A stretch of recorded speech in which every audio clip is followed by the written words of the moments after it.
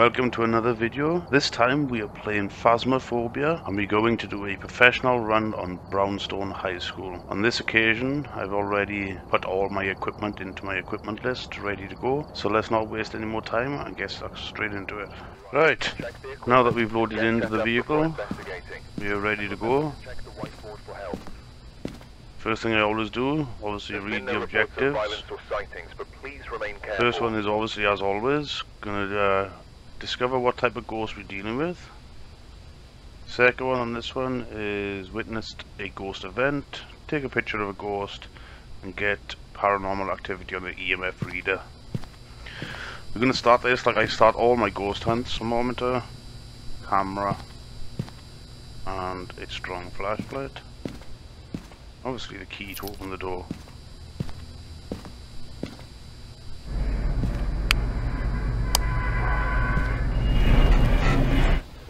Bit of a tip I could give you, you don't have to listen and follow these rules, but it's what I like to do. I recommend that you don't use the front exit on this map. Reason being is if you start hunting whilst you were trying to exit the building and it closes the door in your face, you are unable to run to a classroom to hide and take cover. So I always tend to start on the left hand side no reason why the left hand side, it's just something that I like to do. And then we'll start off by quickly scouring each room. I go through each room, give it a few moments to see if the temperature drops and whilst I'm in this room. I'm also scouring the floors and the tables for the bone.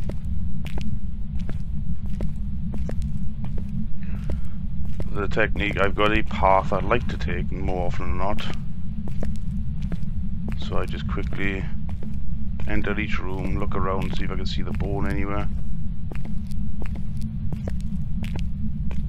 If there's no top drop in temperature, we just quickly exit and move on to the next room.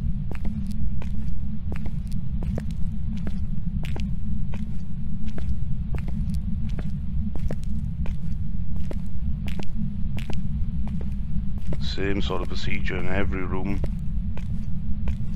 It's always good if you've got the thermometer, if you're working in a group. Oh, we can hear the phone ringing, that's a clue of where it's going to be. Sounds like it's relatively close, so I'm going to say it's on the left hand side, possibly upstairs. But I'll keep, keep on going through these rooms one by one just to see if I can find the bone. It's not always guaranteed I get the ball in high school because there are so many classrooms to search.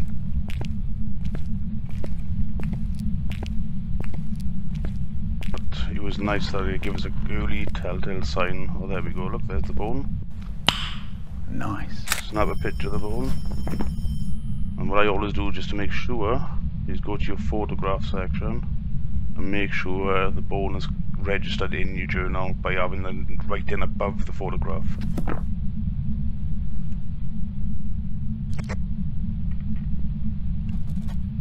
Pick the bone up, put the light back on.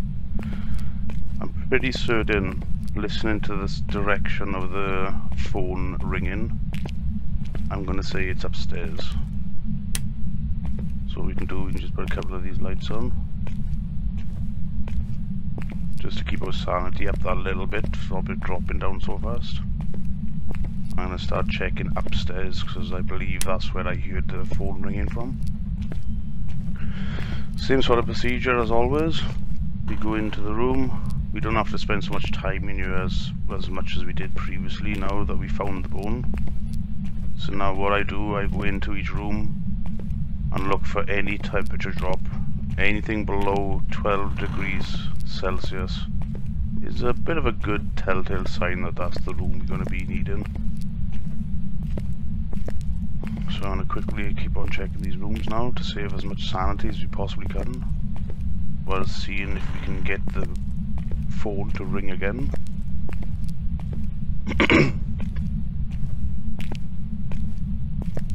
and good thing about hearing the phone, we know it's not going to be a bathroom. But look at this, we've also found the Ouija board.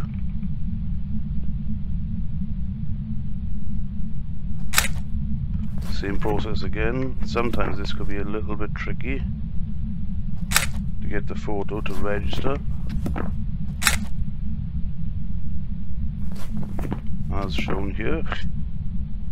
This seems to happen quite regular, unfortunately. Don't waste too many photographs on the Ouija board. We'll knock that back off to save our sanity. But, as I was saying, means it was a phone ringing There's a very strong possibility that it's going to be a classroom, not a toilet or a storeroom. Like these rooms. It's nice to know that the electrical breaker is close by. So hopefully we should have the room nearby and then we won't have to worry about the ghost tripping the breaker.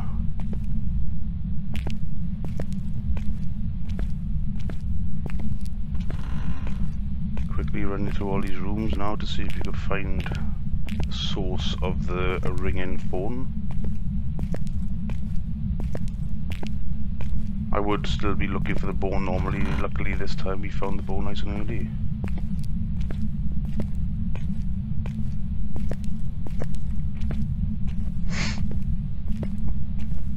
So just going through, looking, see if you can find a drop in temperature anywhere.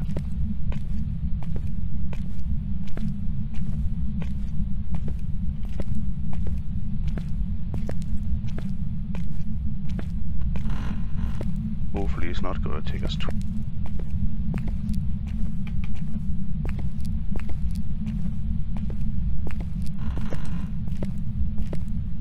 Thirteen degrees.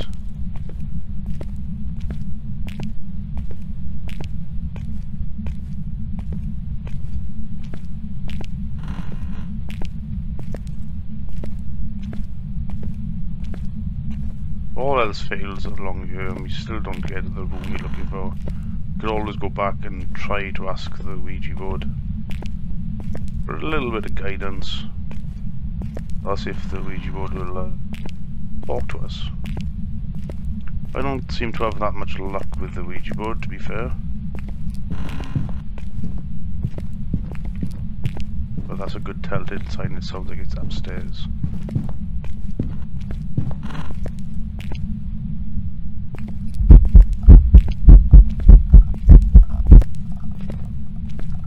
for us.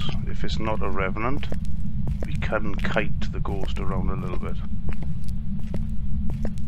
Which is a bit of a useful tip for you guys. At this point we could even try taking a photo of the ghost, but unfortunately we used all our camera rolls up on the Ouija board. So what I'm just going to do now, I'm just going to go around in a large circle, try not to go back on yourself because that's when you could get into a little bit of a sticky situation with the ghost. But keep on going around in a circle trying to save as much time as possible. Get the thermometer back out because the camera's no good to us at the moment.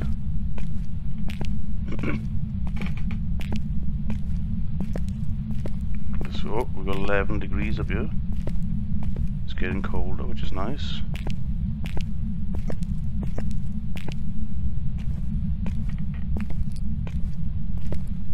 Could possibly have a hallway ghost this time.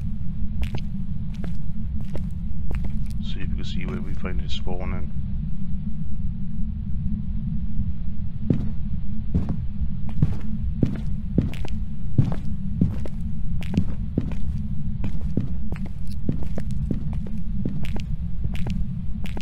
As I say, as long as we haven't got a revenant, we can outrun all of the ghosts. Just gotta try not to run back on ourselves. Taking big circle um, movements around the building. this is why I find it very useful in high school to do this.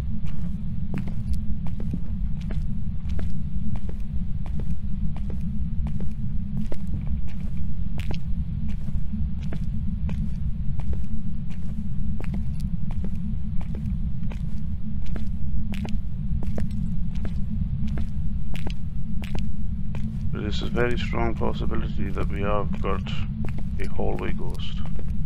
Because I got 9 degrees on the staircase, because 7 degrees. It's a very good sign. It looks like it is because it gets warmer as we get back down the stairs. Oh, we got some cold temperatures over here. Let's quickly check these rooms. I I'm swinging to say that we have got a hallway ghost this time. Unless I can find some freezing temperatures in these nearby rooms. Oh, oh, wait a second. Here is our room, people, look. We passed it first time because professionals sometimes takes a little bit longer to register the temperatures. But I always leave the thermometer once I found the room outside of the room it is because it's always a good telltale sign for your teammates that is if you're playing with teammates to recognize which room you have found. Whilst you go back to the vehicle and start getting more equipment. But we've started well. Took a little bit longer than we expected but at least we know we've got freezing temps. So what we can do whilst we're outside in the safety type in freezing temps into the first section of our evidence. Now what we're going to do is go back to the vehicle and start setting up all the experimental equipment needed to discover what ghosts we are actually dealing with. We can drop this down, we don't need that no more. Coming over here, we need to witness a ghost event, take a photograph for the ghost, and get an EMF reading. So, we can start loading up what we need. We take a spirit box and an EMF to start off with. Tell you what we could do. Just make our job a little bit easier. Is take some sanity pills to stop the hunt happening so much because obviously on professional you haven't got a cooldown window at the beginning of the map and use a possibility of getting haunted as soon as you enter the building but now that we have found the room it's all about setting up the experiments and trying to discover what ghosts we are actually dealing with Ghosts keep knocking the lights off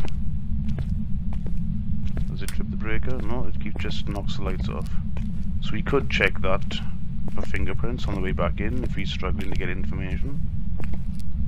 But first of all, I like to set up the EMF, the spirit box, and oops, checked it over on the floor. Yeah, this ghost doesn't like. Whoops, done it again. Hello there, you. Want a photo? Oh, yeah, I'm gonna camera to take a photo. This ghost doesn't like the lights being on, so that could be a clue, that could be a mare. Oops, we're chucking everything on the floor here. That's nice that we've experienced a ghost event now.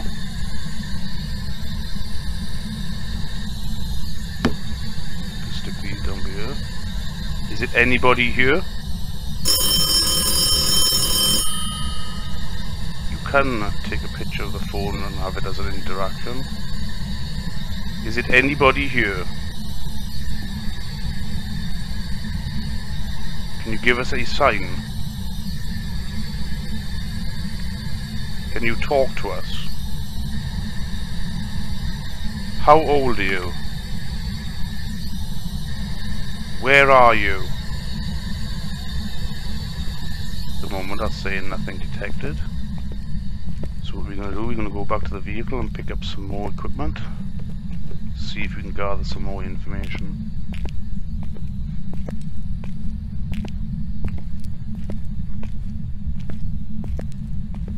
So like I was saying, it's obviously I like to set up a spirit box, EMF, a spirit book, and a camera to check for orbs. But we should go back now and we should see that we've experienced a ghost event.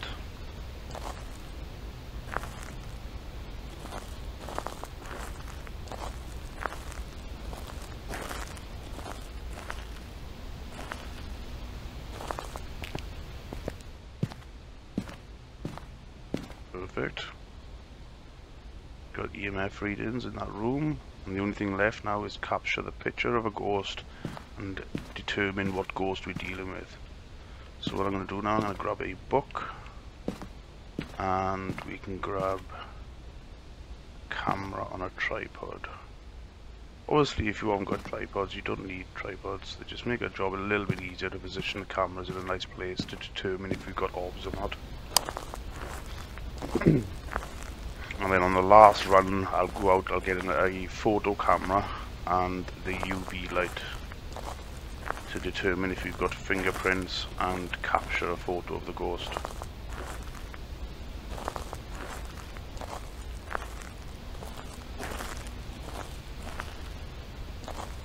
I don't find solo runs much more difficult than working as a team. The only difference is it takes a little bit longer to set up the equipment when you've only got one pair of hands carrying the you know materials or instruments back and forth to the room. So we can come into here. Back yourself. No, we won't put it in that corner. There's a uh, plant in that corner which could obstruct our camera angles. So track it down there. Stick the down. Is it anybody here? Still saying nothing detected. That could be a telltale sign that a spirit box isn't going to be very useful in this run through. If it's saying nothing's detected.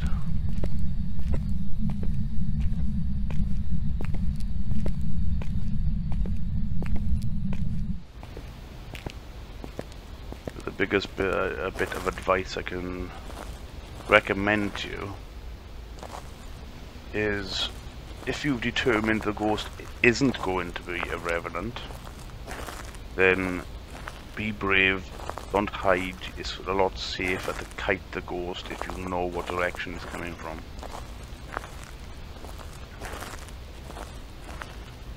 It's a lot safer moving around, you know, less chance of the ghost actually catching you if you're constantly moving. So now this time we're going to grab a light and we grab another camera. So we can snap a photo of this ghost.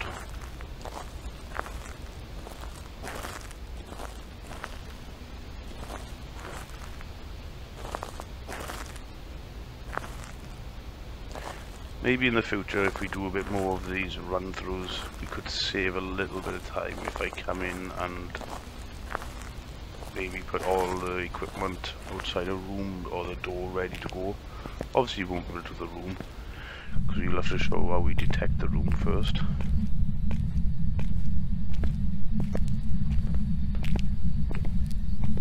But I'd like to start on the loading screen just to show you guys that I was on Brownstone High School professional map. At the moment we're still not showing much evidence. The only thing we have got to confirm is freezing temps. So, oh, we got fingerprints also, now that's nice. So what we can do is go to our camera, snap a photograph of that, make sure it counted, it did, is always nice. You can also check the windows to get some extra points, use any fingerprints on the windows, or the light switches. We got one on the light switch also, look. Get as much photographic evidence as you can to uh, get some more points and money, which is the main thing. Right, so now we can go back to the journal, type in fingerprints, and then they can tell us it's either going to be EMF, which we could possibly still have, spirit box. We can't get orbs. Writing in a book? No. It's either going to be EMF 5, which is a Banshee, or Spirit Box, which is a Wraith. What I'm going to do now, I'm going to check that down, we don't need that no more. Can pick this up. And to scour around the room to see if we pick up any stronger EMF readings anywhere.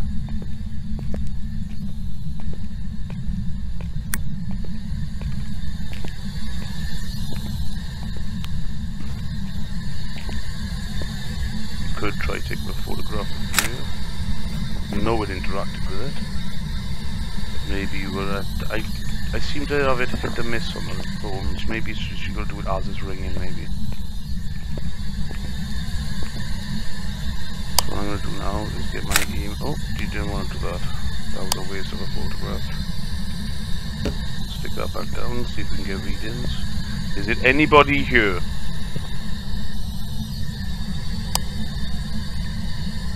How old are you? Give us a sign.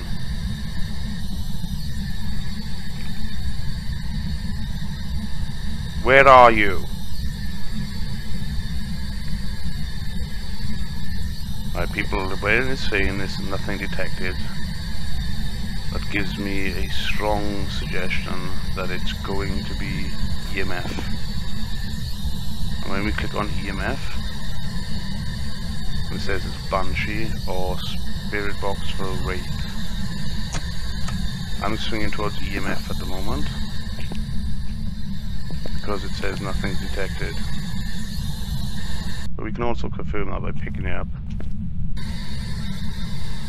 Is it anybody here? Give us a sign. Yes, yeah, don't think it's going to be Spirit Box. Can you show yourself? Can you talk to us? Is it anybody here? Yeah, I don't think it's going to be spirit box. We'll leave it on. Just it's a little bit uh, scary and loud in my ear, that was. I'm gonna quickly scour through. We gotta keep on talking to it to see if we can get a photo of the ghost. Is it anybody here? Give us a sign.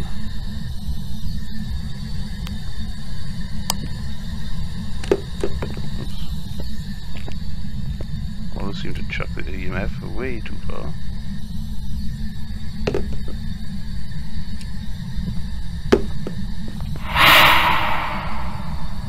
It's been very vocal to us, but unfortunately we're not getting a, uh, an appearance from the ghost this time. Can you show yourself?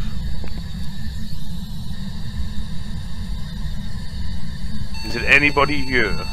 And there's our EMF 5. And there's our photograph. Perfect. Now we can confirm what ghost we've got and we've done all of the objectives by taking a photograph of it.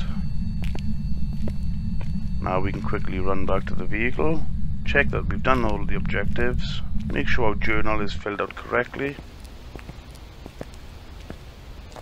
and we are good to wrap this investigation up. Need that no more.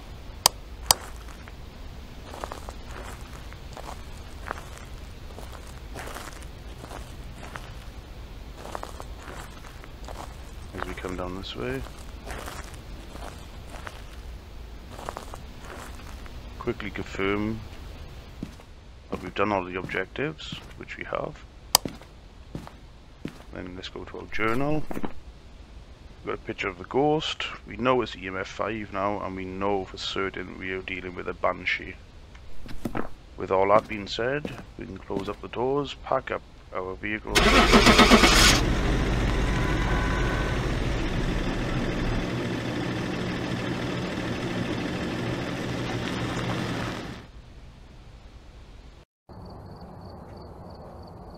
Now we can come back here and we can see that we've earned just shy of $300, which is not a bad investigation if I don't say so myself.